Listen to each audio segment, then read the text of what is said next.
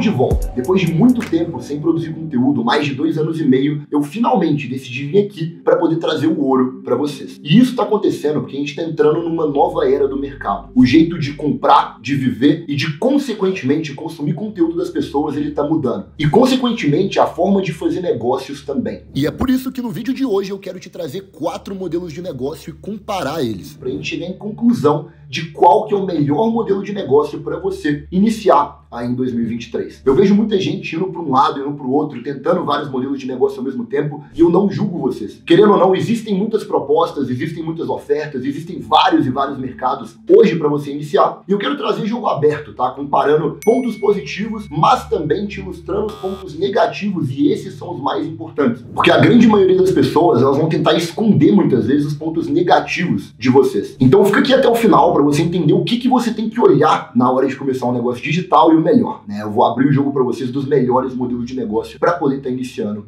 hoje. Quando a gente fala de modelo de negócio no digital, a gente tem que olhar quatro coisas importantes: investimento inicial, saturação do mercado, entrega e tráfego. Investimento inicial ele vai ser basicamente qual que é o valor que você precisa para poder começar no mercado que você está olhando. Ou seja, quanto que eu tenho que colocar de caixa para poder fazer o negócio começar a gerar e, obviamente, ele começar a dar lucro também. Isso é muito importante. A saturação de mercado é o quão rápido o mercado que você está ele satura né? Ou seja, quanto tempo o seu negócio vai durar. E isso é muito importante porque muita gente vai olhar só para o lucro, né? Então, quanto que eu vou ganhar nesse mês, quanto que eu vou ganhar nessa semana, e não vai olhar para quanto tempo esse mercado que você está iniciando ele vai durar. Isso daí faz muita gente ter aquela clássica linha de começar um negócio, ganhar muito dinheiro, quebrar, ganhar muito dinheiro de novo, quebrar e por aí vai. Então, é um ponto que você tem que estar muito atento. Penúltimo e terceiro ponto é a entrega. O quão fácil e o quão rápida é a entrega do seu produto. E a entrega ela é crucial, principalmente no cenário de você querer fazer clientes comprarem de novo, querer construir branding, construir marca e construir um negócio que as pessoas vão comprar consistentemente e tá sempre lá com você. E é o que a gente chama de construção de LTV, né? Querendo ou não, um cliente de longo prazo, ele é muito mais importante do que você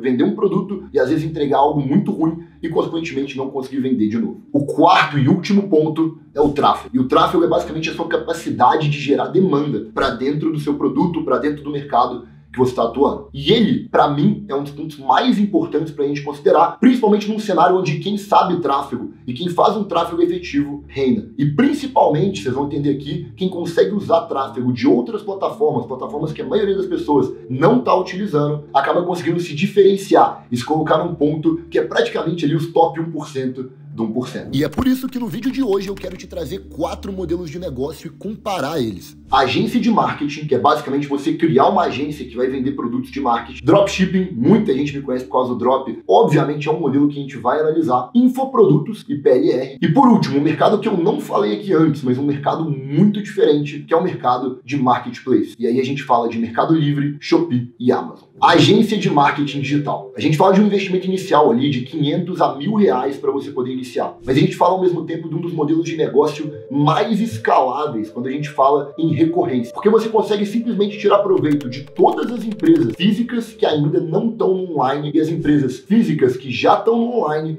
mas não estão performando. E cara, eu posso te falar com toda certeza que existe muita, mas muita empresa sim. Bom, primeiro ponto que a gente tem que olhar então é o investimento inicial, igual eu falei para vocês, de 500 a mil reais. E quando eu falo de 500 a mil reais, é porque você basicamente vai ter de um a dois, tá? O primeiro é contratar alguém para poder fazer alguma parte da agência que você não consiga entregar, seja um designer, se você não souber designer, seja tráfego, se você não souber tráfego, seja copy, se você não souber copy. Mas o ponto que a maioria das agências não estão olhando é sobre segmentação, tá? Eu vejo muita pouca agência que é específica para alguma coisa. Muitas vezes a galera tenta abraçar o mundo. Então o cara vai tentar fazer marketing, tráfego, vendas, edição de vídeo design e ele acaba se confundindo muito. O mercado de 2023 ele pede por agências mais segmentadas. Então muitas vezes você olhar e falar, cara, eu sei copy. E aí você criar uma agência só de copy, focar nisso e ser o melhor de copy. Ao invés de querer fazer tudo e querer abraçar o mundo. E muitas vezes fazer uma entrega porca, que é o que acontece com muita agência, e muitas vezes se diferenciando por segmentar em um lado só do marketing digital, né? Então muitas vezes você é bom em vídeo, você pode ajudar o cara só em vídeo. Você é bom em tráfego, você pode ajudar ele só em tráfego. E aí você pode segmentar ainda mais, né? A gente está falando de tráfego, você pode ser a agência que entrega só tráfego para TikTok, ou só tráfego para Google, ou só tráfego para Facebook. E aí quando a gente fala da saturação do mercado de agências, pessoal, a agência para mim é uma saturação extremamente variável, então a gente não consegue mensurar aqui. Por quê? Eu posso criar uma agência de tráfego e aí ficar muito saturado porque um monte de gente começou a fazer agência de tráfego também. Mas eu posso segmentar e me reinventar para fazer tráfego só no YouTube né, e mostrar como é que clientes performam dentro do YouTube. Então é extremamente variável, não dá pra gente mensurar aqui. E o terceiro ponto é a gente analisar a entrega, tá? O quão difícil é você entregar. E para mim, se a gente for mensurar de 1 a 10, uma agência, ela tem uma entrega de 7 de 10, 8 de 10. Isso acontece porque, cara, se você está começando hoje uma agência, você vai concorrer com muitas agências que já estão performando muito bem e, consequentemente, tem um processo de entrega muito redondo. Se você não entender de gestão e muito bem do mercado que você está trabalhando, você provavelmente vai sofrer muito com a entrega, tá? Então, eu não começaria com agência simplesmente pelo fato de que, cara, a entrega que você tem que ter com uma agência, ela tem que ser de ponta, porque uma agência hoje, ela vive e sobrevive em cima da recorrência. Então, a gente fala de um cliente que vai comprar uma vez e ele vai continuar comprando com você no longo prazo. E o quarto e último ponto é como que é a geração de demanda de uma agência, né? Então, como é que você traz clientes ali para sua agência se você está começando uma agência hoje? E quando a gente fala de uma agência de marketing, a gente está falando de uma demanda que ela é criada a partir do tráfego. Então não tem ninguém que vai gerar demanda para você. Você não vai conseguir simplesmente criou um site de uma agência e vai começar a entrar cara na sua agência do além, né? Você tem que promover, você tem que rodar tráfego de algum lugar ou fazer uma venda ativa, né? Que muitas vezes ser uma venda por ligação, etc. E eu posso falar para vocês ali, cara, que na grande maioria das agências, 50% no início, 60% é trabalhar venda ativa, né? E é uma venda que é muito, mas muito trabalhosa. Você vai tomar não de 50, 40 clientes no início para muitas vezes ter um cara que vai lá, vai acreditar em você, vai querer começar e assinar o seu pacote de serviço, né? E acabar contratando sua agência que vai começar a gerar uma renda a partir do digital. Quando a gente fala em dropshipping hoje, a gente fala do investimento inicial de 600 a 3 mil reais. E eu quero explicar o porquê, tá? Muita gente acha que pelo fato de drop ser uma operação que você começa sem estoque, você não vai ter investimento inicial para começar. Porém, o que faz uma loja de dropshipping performar está diretamente ligado hoje ao quarto pilar, que é a capacidade de geração de demanda. Ou seja, o quão bem você consegue gerar demanda para uma operação de dropshipping. E muita gente comete o erro de achar que, cara, beleza, eu não tenho que investir em estoque e achar que, consequentemente, você não tem que investir em geração de demanda. Porém, a geração de demanda para drop ela é extremamente trabalhosa pelo lado de você ter que testar testar vários e vários produtos até acertar um produto que vende. Então, quando a gente fala do modelo de negócio de dropshipping, você tem que criar 5 a 10 ofertas, validar essas ofertas e até você achar uma oferta que realmente vende demora e assim que você valida uma oferta, você tem que começar a escalar ela, o que leva ao nosso segundo pilar, que é o lado de saturação de mercado. Drop, ele é um mercado que ele não está saturado, dá para você vender. Porém, os produtos de drop, eles estão saturando cada vez mais rápido. E aí a gente entra num modelo de negócio que automaticamente ele depende muito de você estar tá sempre validando um produto novo. Eu diria, e a gente investe em algumas operações de drop aqui na nossa operação hoje, que você tem um tempo de mercado de um a três meses, até você ter que reinventar a sua oferta ou mudar de produto para continuar a fazer a sua loja performar. Agora, quando a gente fala da dificuldade de fazer drop, eu diria que drop ele não é um mercado tão difícil comparando com os outros que a gente tem aqui. Então eu diria que a gente teria ali um mercado de 4 em 10 de dificuldade. Eu falo isso porque, cara, hoje tem muito conteúdo de dropshipping, você consegue aprender dropshipping muitas vezes de graça com conteúdos do YouTube. Inclusive, eu aqui no canal tenho um mega conteúdo de drop. Ano passado, a gente foi a maior empresa a distribuir conteúdo gratuito de drop ali no mercado. A gente simplesmente trouxe 11 mil pessoas né, para participarem de uma mentoria onde a gente entregou 90 dias ali de conteúdo todo santo dia sobre dropshipping. E dali, cara, a gente conseguiu criar uma base de pessoas que conseguiram se capacitar no drop muito rápido. Né? A gente viu que o sistema de dropshipping acaba que ele é um sistema onde você consegue começar hoje, semana que vem você está com uma loja pronta, na próxima semana você já está aprendendo tráfego, já está aprendendo a testar produto. O tráfego de dropshipping, cara, se você quiser ter resultado, você não precisa ser o melhor cara em tráfego do mundo, então automaticamente dropshipping é um mercado que ele não é tão complexo quanto outros mercados, né? Se a gente pega ali o mercado de agência que eu acabei de falar, é um mercado que, cara, você precisa saber gestão, você precisa saber vendas, você precisa saber entregar muito bem o que você está propondo, então ele é um mercado que é muito mais difícil, muito mais complexo do que dropshipping. Agora, o que me leva ao ponto que é mais pesado para dropshipping é a capacidade de geração de demanda. A gente fala de, cara, você tem que investir muitas vezes 75 a 80% do seu tempo em gerar demanda para sua loja. E isso torna a performance da sua loja extremamente trabalhosa, porque vai depender 100% do quão bom você é em montar uma oferta boa e gerar demanda para ela. E muitas vezes, cara, muitas lojas de dropshipping, elas ficam prontas. Eu tenho certeza que se você tentou drop, você vai se identificar, você montou sua loja e aí você travou na hora de rodar anúncio, porque você tomava bloqueio de conta, ou na hora de vender efetivamente produto, porque você até conseguiu subir sua campanha, mas ela não vendeu, ela não performou. E muita gente para em drop aí, porque drop é 80% muitas vezes você ser bom em gerar demanda. Ou seja, você ser bom em montar uma oferta muito boa e você ser bom em gerar tráfego para essa oferta muito boa que você montou. E é por isso que, para mim, a tendência de dropshipping ela é cair cada vez mais em 2023. Porque você precisa ser muito bom em marketing e está concorrendo com um mercado gigantesco, que é o mercado de marketplace. Cada vez mais ele vem trazendo credibilidade. Né? Então, cada vez menos eu quero comprar em lojas de drop e cada vez mais eu quero comprar em Amazon, Mercado Livre, etc. Venda de produtos da informação ou infoprodutos são basicamente produtos onde você não vai necessariamente entregar um produto físico, né? Tipo esse iPhone aqui. Você vai basicamente vender um curso ou um material online em vídeo e esse material, obviamente, ele vai resolver a dor de alguma pessoa. O mercado de infoprodutos ele é um mercado que mais cresce hoje a nível de marketing digital. Mas ele é um mercado que, pela concorrência que ele tem hoje, você precisa de mil a três mil reais para poder iniciar. E eu falo isso porque você vai ter gasto com plataforma e hoje você precisa de plataforma boa se você quer vender um produto. Você vai ter gasto com contingência, porque muitos mercados que você iniciar, você vai tomar muito bloqueio de conta, você vai sofrer com o lado de, querendo ou não, você precisar de uma gestão de contingência boa e a capacidade de geração de demanda, aqui de novo, é o último ponto que eu vou falar aqui, e vocês vão ver que eu bato muito martelo nisso, porque hoje, cara, uma das maiores dificuldades que uma pessoa tem na hora de começar no digital é sim o lado de gestão de tráfego, né? É sim o lado de criar demanda para algum produto, para alguma oferta. Ela é cada vez mais complicada e mais concorrida. E isso nos leva ao segundo pilar, que é a saturação de mercado. Quando a gente fala em PLR, eu falo no mercado que ele vai saturar em duas semanas, muitas vezes. Eu vou validar uma oferta, essa oferta vai performar, um monte de gente vai começar a copiar a minha oferta e vai derrubar ela. E isso acontece muito. Por isso que é um mercado que você tem que se reinventar muito e torna cada vez mais difícil você performar bem, a não ser que a gente vá para o segundo modelo, que é o modelo onde eu coloque um expert para poder falar do meu produto. E aí a gente fala de um modelo que ele já roda ali a um nível de saturação de dois meses a quatro meses. E eu falo isso porque eu já vi muita gente com uma oferta muito boa, com um expert muito bom, né, um influenciador que vai vender algum produto, durar mais tempo no mercado. Mas aqui a gente fala de novo de um mercado que ele entra em queda e você precisa estar tá se reinventando constantemente. O nível de dificuldade de PLR e infoprodutos, eu diria que ele é um nível médio tá? E ele é médio pelo lado de que, sim, você tem que ser bom em copy, tem que ser bom em tráfego, tem que ser bom em criação de conteúdo, mas ele é um mercado que é cada vez mais delegável. Então, cada vez eu consigo encontrar mais pessoas que vão editar uma VSL para mim, né, um vídeo de vendas muito rápido. Cada vez mais eu consigo encontrar bons gestores de tráfego que vão cobrar barato para poder rodar meu tráfego e aí me dá uma tração de validação mais rápida. Porém, ele é um mercado que ele é complicado exatamente pelo quarto pilar, que é a capacidade de geração de demanda. Por quê? Cada cada vez mais a gente vê pessoas tomando bloqueio de conta em Facebook, tomando bloqueio de conta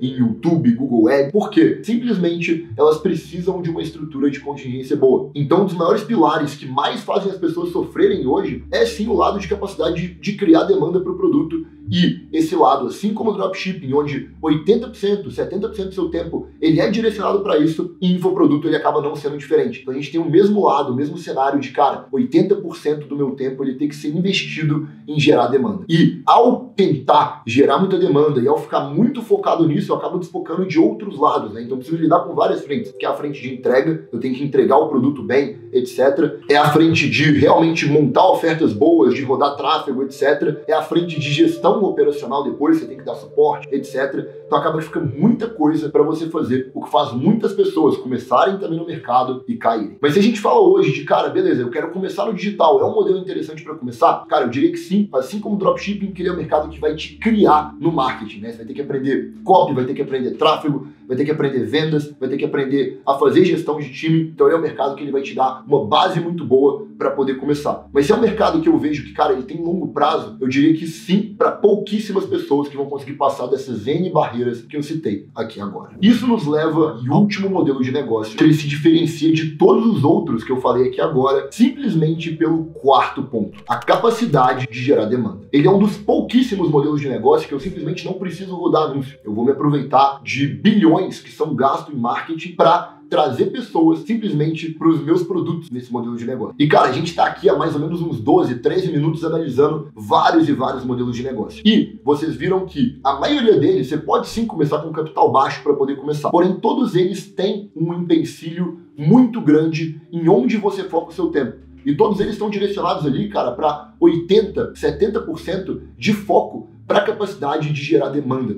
Tá? E quando eu falo em gerar demanda, é basicamente eu trazer cliente. Então, de novo, se eu tenho uma agência, cara, eu preciso focar muito tempo em trazer cliente. Se eu tenho um produto de dropshipping, uma loja que está vendendo produtos no e-commerce, pelo fato da minha loja não ter tráfego, eu tenho que botar muito tempo em gerar demanda. PLR, infoproduto, mesma coisa. Aqui a gente encontra um padrão muito grande e quando a gente fala de um produto igual marketplace, a gente fala de um produto onde você não tem que se preocupar nada com geração de demanda. Seu foco ele vai 100% para encontrar produtos bons e vender nesse mercado. E quando a gente fala do mercado de marketplaces, Amazon, Mercado Livre, etc., para começar a vender lá, você precisa de 500 a mil reais. E eu falo isso porque muita gente acha que você precisa montar um mega estoque físico, só que na realidade não. Eu tenho que ter um capital reservado simplesmente para comprar esses produtos quando eles venderem lá no marketplace. Hoje existe um modelo que chama cross-dock e o dropshipping ele também pode ser utilizado. Ambos os modelos eles são modelos que você não precisa necessariamente comprar o estoque para poder anunciar no marketplace. Você simplesmente vai listar vários produtos lá e assim que o produto vender, você tem que ter o capital reservado para poder comprar esse produto. Só que isso te tira muito do risco quando a gente fala de montar um mega estoque e ficar com o estoque parado lá na sua operação, automaticamente te gerando um prejuízo ou qualquer coisa nesse sentido quando você vai enviar ali o produto. E por não ter esse risco de ter que comprar vários produtos e ficar com o estoque parado, ele torna um modelo de negócio onde você tem um capital baixo para poder iniciar, ou seja, uma barreira de entrada baixa também. Isso nos leva ao segundo ponto, que é o ponto de saturação do mercado. Você pode, no marketplace, saturar produto, mas quando a gente fala do marketplace saturar,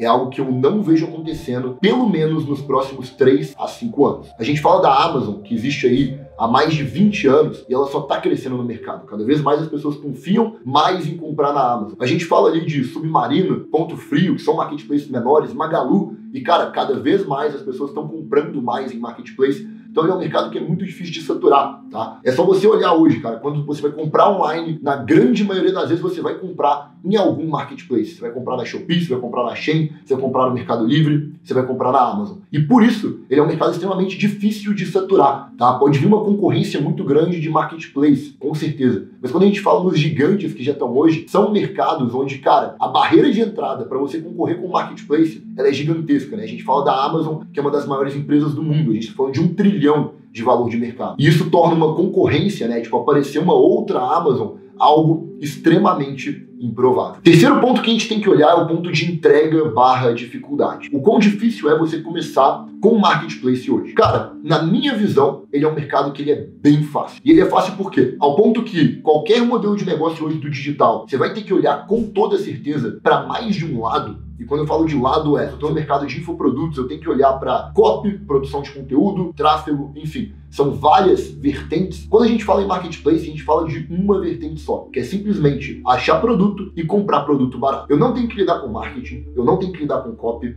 eu não tenho que lidar com criação de site. Eu simplesmente coloco um produto bom no marketplace, um produto bom, que é um produto que eu comprei direito, ele tem uma demanda boa, e eu deixo lá vendendo. E pelo fato de eu ter uma simplicidade grande na hora de começar um negócio, eu consigo focar e me aperfeiçoar em uma coisa só. E pelo fato de eu estar tá me aperfeiçoando em uma coisa só, obviamente eu tenho muito mais escala, eu acabo tomando ações muito mais alavancadas. Ou seja, aprender a importar produtos, por exemplo, aprender a negociar melhor com fornecedores, aprender a sondar estratégias para encontrar produtos melhores e, consequentemente, escalar minha operação. Alguns problemas que você pode ter, isso daqui é importante falar, é que, cara, a margem de lucro de marketplace ela é um pouco baixa hoje, tá? E quando a gente fala em margem baixa, automaticamente a gente fala também em você muitas vezes demorar mais para fazer valores absurdos, né? Então, enquanto muitas vezes ali você vai ver um cara vendendo muito com PLR e ganhando muito dinheiro muito rápido, você vai ter uma curva de crescimento um pouco mais constante com o marketplace.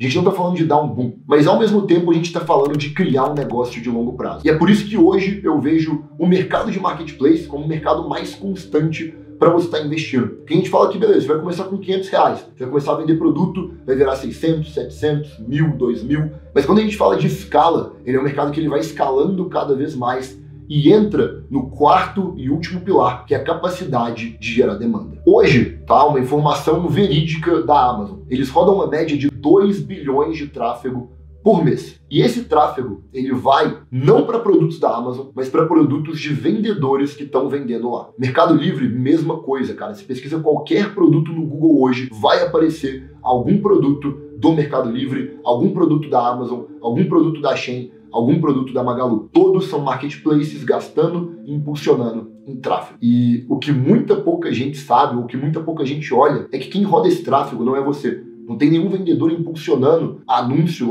da, da Amazon, por exemplo, no Google Shopping. É simplesmente a Amazon querendo trazer mais clientes para o marketplace deles e eles que gastam em anúncio. Então, quando a gente fala em gastar dinheiro com tráfego, o gasto é zero. Tá? O seu único gasto é comprar produto, cadastrar lá e deixar vendendo. E assim como em algum momento dropshipping foi um modelo que gerou dinheiro para muita gente, inclusive para mim e várias pessoas que me acompanham aqui, chegou a hora de um novo modelo de negócio assumir o trono. E esse modelo é a Amazon e Marketplace. Porque, primeiro, é um modelo de negócio que você tem um risco muito baixo, então você não vai perder dinheiro com o tráfego, que acontece com muita, mas muita gente. E segundo, é um oceano azul. Tem pouquíssimas pessoas hoje vendendo na Amazon, na Shein. Mercado Livre tem bastante mas em marketplaces secundários que são primários no mundo, né? Então a gente fala de Shein e Amazon hoje são muito maiores do que Mercado Livre, por exemplo. A gente fala de pouquíssimas pessoas vendendo no Brasil. E é por isso que eu acredito que esse é o melhor modelo de negócio para você começar em 2023. Eu precisei fazer toda essa análise para você entender que, cara, todo modelo de negócio que eu citei aqui em cima, eles estão indo para o mesmo padrão: saturação rápida, investimento muito grande em gerar demanda. Isso para mim é um erro. Porque você tem que focar muito tempo em gerar demanda,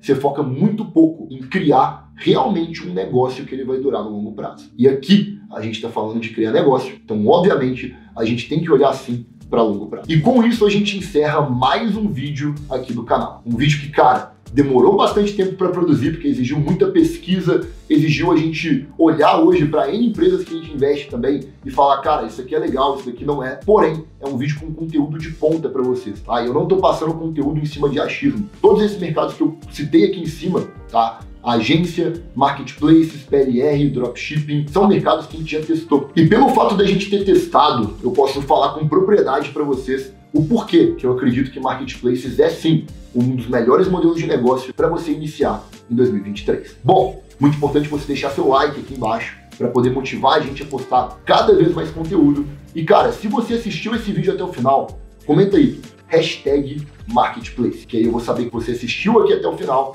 e obviamente, cara, eu vou responder todos esses comentários com muito carinho. Cara, espero que você tenha gostado. Tem links aqui embaixo na descrição bem importantes, tá? Um deles vai ser um grupo do Telegram que a gente vai estar postando vários conteúdos. E o meu Instagram tá aqui embaixo também. E cara, se você quiser trocar uma ideia comigo, a melhor forma é pelo Instagram. Então você pode mandar uma mensagem lá, com toda certeza vai ser um prazer te responder e a gente bater um papo. Enfim, com isso a gente encerra o vídeo de hoje. Um grande abraço, até mais.